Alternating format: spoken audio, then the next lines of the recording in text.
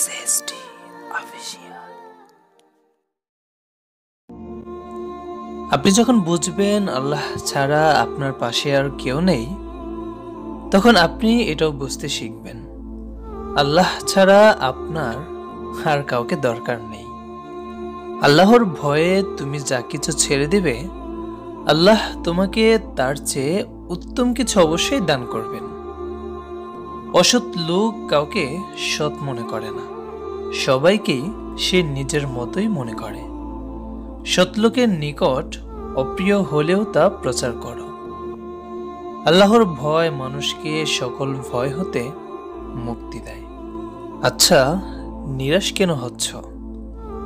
তোমার মনের গভীর থেকে গভীরতম সমস্ত কিছু সম্পর্কে আল্লাহ অবগত আছেন। ধৈর্য ধরতে হবে তো। আল্লাহ যা করেন, সেই সব কাজের ভেতর কোনো না কোনো কারণ থাকে। আল্লাহর উপর ভরসা রাখো, আল্লাহ কষ্টের পর সুখ অবশ্যই দিবেন ইনশাল্লাহ একদিন আপনার দোয়া কবুল হবে, আপনি শান্তিতে থাকবেন, কষ্ট অবশেষে অদৃশ্য হয়ে যাবে এবং আপনার হৃদয় স্বস্তি পাবে। ততক্ষণ ধৈর্য ধারণ করুন এবং তাওয়াক্কুল করুন। নিশ্চয় আল্লাহ আপনাকে হতাশ করবেন না। খুব ক্লান্ত হয়ে আকাশের দিকে তাকালে মনে হয় কেউ যেন বলছে, হতাশ হয়েও না, নিরাশ হয়েও না। আমি সব দেখছি, শুনছি, সব একদিন ঠিক হয়ে যাবে ইনশাল্লাহ আপনি যদি আপনার জীবনের দিকে ফিরে তাকান, আপনি বুঝতে পারবেন যে আপনার সাথে যা ঘটেছিল তা আল্লাহর পক্ষ থেকে একটি অনুগ্রহ ছাড়া কিছুই ছিল না।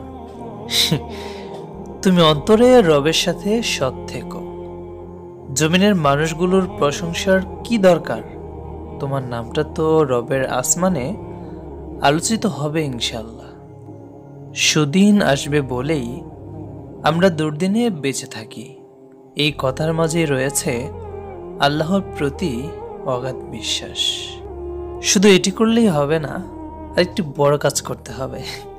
সেটা হচ্ছে কখনো নামাজ বাদ দিও না। কারণ নামাজই হচ্ছে তোমার বেহেস্তের চাবি।